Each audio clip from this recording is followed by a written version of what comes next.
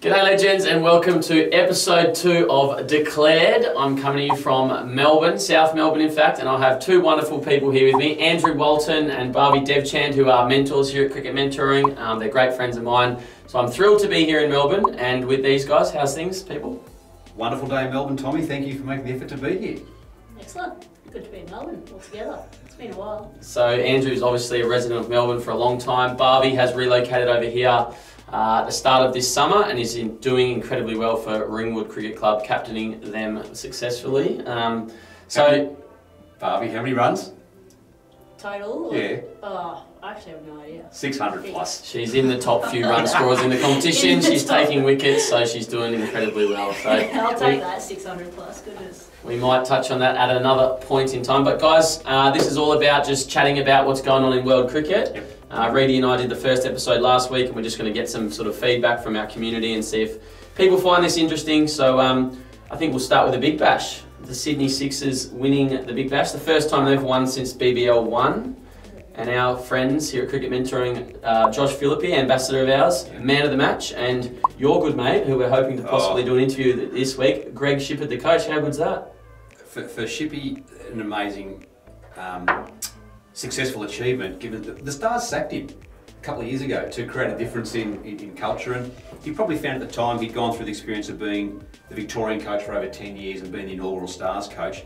This has really rejuvenated him at the, at the Sixers and um, particularly some of the, the bold decisions in bringing in Josh in, into the squad and Joe Denley in, in, in previous seasons. And what a luxury though, Tom. You get blokes like Smith, Lyon, and Hazlewood to come back for the final series. Well, I, I picked the Sixers. I was chatting with some mates. I think I said this on last week's episode. I was chatting with some mates a few weeks ago, and I said the Sixers are going to be incredibly hard to defeat. On that note, the Sixers are going to be so hard to beat. I, I remember saying it to a few guys a little while ago.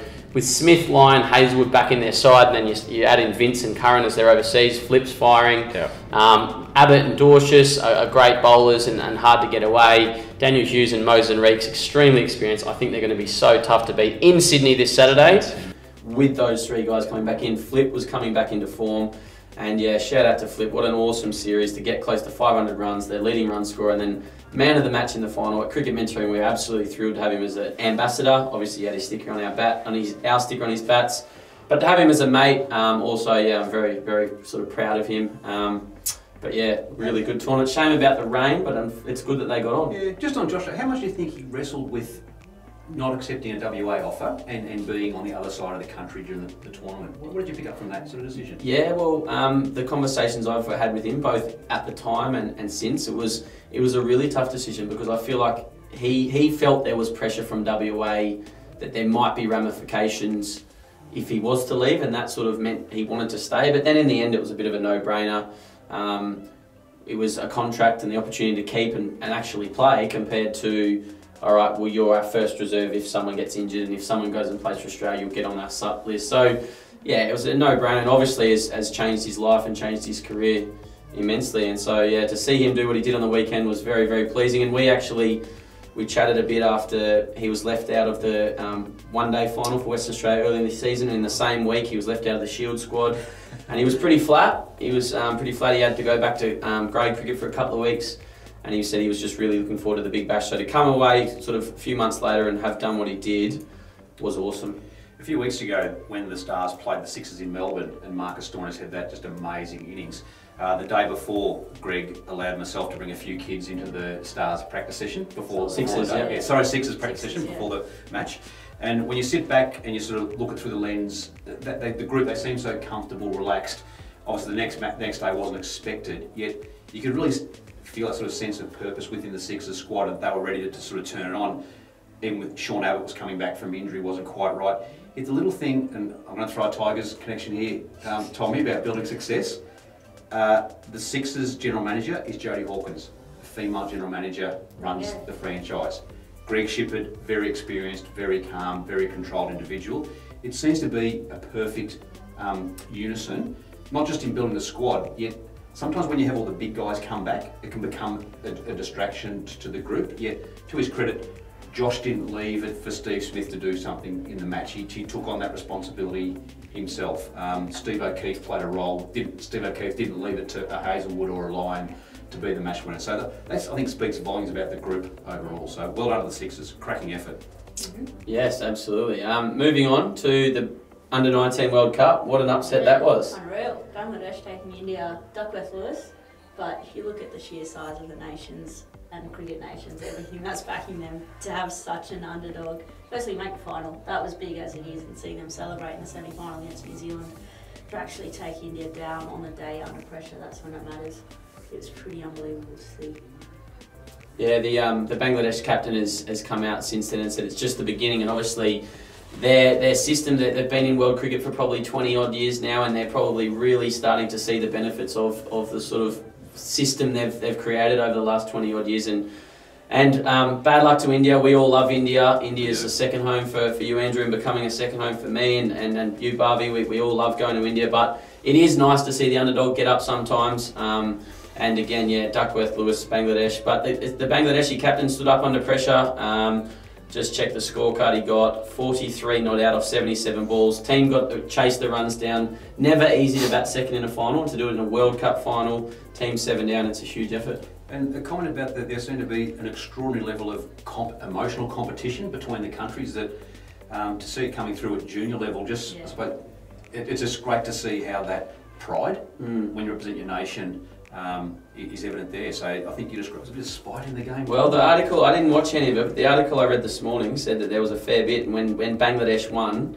I think they carried on a bit and the Indians weren't too pleased. And I don't know how many times the Indian boys would have lost and they probably weren't used to it. But yeah, apparently there was a little bit in it. Um, but I was speaking to um, our, our good friend Andrew, Chris Rogers, last night, who was the coach of the Australian under 19 side. They arrived back into Australia yesterday and he said both India and Bangladesh, the groups had had in excess of 40 matches together. Whereas leading into the tournament, the Aussies had had seven. And he said that if the tournament was to start now, he thought the Aussies were prime and ready to go, and he thought that a lot of the guys didn't understand their role, didn't understand their teammates, and, and that really showed that the more cricket these uh, other countries had played together made such an impact. So, well done to Bangladesh, and no doubt we'll see Bangladesh become a real powerhouse of world cricket in the next 10 to, to 15 years as these younger players progress through to senior cricket. Absolutely. Um, Barbie, moving on to the women's tri series that's being held here in Melbourne. Um, it's been all over the shop, hasn't It it? has been all over the shops. I think everyone, as of yesterday, everyone has beaten everyone. England took Australia in that first game, and then on Saturday, saw an unbelievable game where India traced down 170 odd against the Aussies, um, which was very unexpected because there'd been a lot of criticism around India and the way they were playing coming in, particularly their big guns. You've got Harmanpreet Kaur, who's one of the most explosive players, but was taking the time lots of ones. You hear the commentary, everyone was talking about why aren't they having a crack. But to see India and a couple of smaller names come out at the top of the order and smash the Aussies all over the place, chase down 170 quite easily in the end, um, was pretty special. And I think what it does is it sets up the World Cup beautifully. It was an intriguing match. I went on Saturday. It was an intriguing match. The Australian bowling, how they, they didn't play Tayla Vlaeminck. So they decided to sort of step away from the pace barrage and had been successful. And they used more of a spin friendly. And Meg was forced to use five bowlers. The first five bowlers were all different. So Australia was sort of placed in a different position from a pressure perspective. And so I'm sure, it's one of those interesting things. I'm sure that India would have got plenty out of it in the way it took Australia down. Matthew Mott was probably unhappy inside, yet he was probably okay, Okay. because we actually learned something that I think was Sophie's first three balls went for four Yep. in the third. The third, so she bowled the next over after release with with the wind, and sort of thought she would have been able to defend that over. She was hit over the offside, so you know, an intriguing, fascinating game. It sets up beautifully ahead Wo- the World Cup. So, but India, they were, they were very powerful, very impressive. Good local support too. Yeah, and and um, I suppose a, an exciting thing for the Aussies is they're doing reasonably well still, and Alyssa, Alyssa Healy hasn't fired yet. So if she can get going at the top of the order, um, the Aussies will be hard to beat. Just on that, so Barbie, a lot of these players you've, you've played with and against, and it's fair to say across the Tri Series, we weren't over reliant upon Meg or Alyssa or Ellyse to be the, the, the superstars and carry us through. Some of the more impressive performances that you might have seen from the other players? Well, I think someone who's been consistent for a long time now and probably doesn't make the headline as much as Beth Mooney. Mhm. And I know she played well yesterday as well. Mhm. Um, didn't get to watch the game as we were playing, but she's someone that she scores in weird areas. Ah. And when people come up with different plans, I know when we, we talk about Ellyse Perry, very technically correct. Meg Lanning has her clear strengths, and she on her day can dominate you. Let's she's explosive. But Beth Mooney's someone that constantly chips in with 30s, 40s, 50s. She has got a couple of T20 hundreds as well. And I actually think she's a key to the World Cup in terms of the top of the order, purely from a consistency point of view. Right. It is very rare. I'd love to, I don't know the exact numbers to be honest, but if you go back and look at, say, the last two years, I don't reckon she's failed more than twice in a row. On that point, weird areas, just Yeah. for our, so if, if you're bowling, like Yeah. what, what's, what's a weird area that you would Weird area, so like it's, if you think about traditional cricket, you bowl a ball fourth, fifth stump, they're hitting you through mid-off, Yeah. for example. She'll find a way to hit you through cow and wickets safely. So it's not a hack, that's her strength. Not a, That's, ah, that's the difference for me. Mm. So she goes to the line of the ball Mhm. and she's using her hands from a really strong base. It's not, I'm just swiping across here. keeps her hands low. So what she does, yeah, she, Yeah. she's low, she gets to the line of the ball perfectly, and her hands are unreal. It's a little bit very different looking to Steve Smith, but the same concept. In that his base is, is really, really good, and then he has really good hands. nice. Um, so nice. she'll she'll hit as a bowler. You're like, these are my plans. What I'm doing. If someone's sweeping me, I know I can bowl this. She'll find a way to still play that. And then from the Australian aspect, how much of a wild card does Annabelle Sutherland now Oh, yes. play in the pool? oh, yes. Yeah, she's honestly she's going to be if she, she keeps tracking the like how she does and staying as she's a pretty humble kid the way she does. I would like to see her challenge Ellyse Perry's numbers, if not overtake her. Um, played a little bit against her here in Melbourne. She's not played much club cricket, but when she has, she scores hundreds. Like I would love to see her average. And with the ball, I faced her about 12, 18 months ago now. Mhm. Maybe bowling about 100 clicks, nothing different from your normal medium pacer. Granted, she was 15.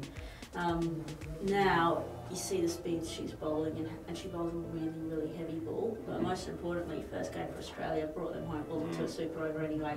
The composure at that age says more than any sort of talent or skill that she possesses. It's a big World Cup ahead, isn't it? Yeah. Looking forward to it. And big Tri Series final before that with Australia into it. Um, moving on to, I suppose, from that, Sachin Tendulkar facing Ellyse Perry yesterday down here at Junction Oval. How good was So that? let's work, let's work that out. So two weeks ago, the Bushfire Appeal sold out match, massive Sydney crowd, everything rolled around Sydney.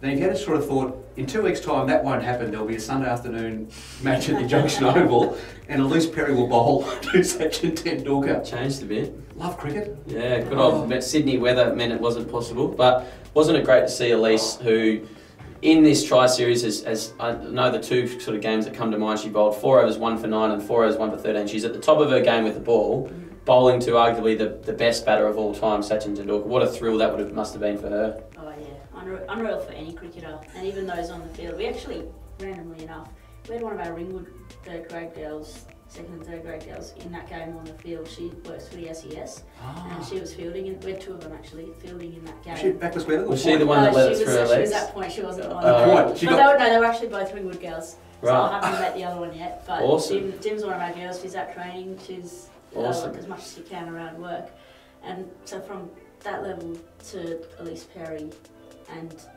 everyone in between to be able to bowl at the little master an opportunity like that. On top of that, raised seven point seven million. I think I saw this morning. Oh, Huge, Um, huge. Well done to all involved. The Bushfire Appeal, um, Ricky Ponting, Adam Gilchrist, Brian Lara, all the world's sort of Yeah. past greats.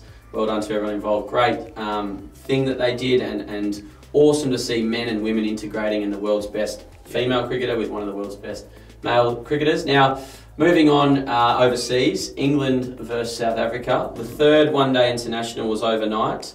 England getting home. Um, South Africa seven for 256 off their 50 overs.